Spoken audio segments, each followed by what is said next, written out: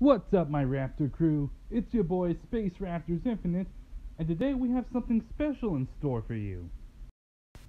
So, today we'll be reviewing a series called The Paleoverse Age of Giants, a show that's high packed in action, drama, a bit of horror, and I even detected some romance in some scenes.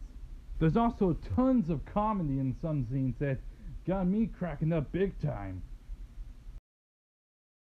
Now, one of my favorite things about the series is how each episode tends to build up the suspense and make me love it even more. And oh, mm, mm, mm. the way some of these episodes play out is just marvelous. It's simply marvelous. Oh, and the way episode 8 turned out, absolutely brilliant. Also, if there's one character that you gotta love to hate, it's gotta be that king. Oh, I swear he gets under my scales. Like, seriously, how is he not dead yet?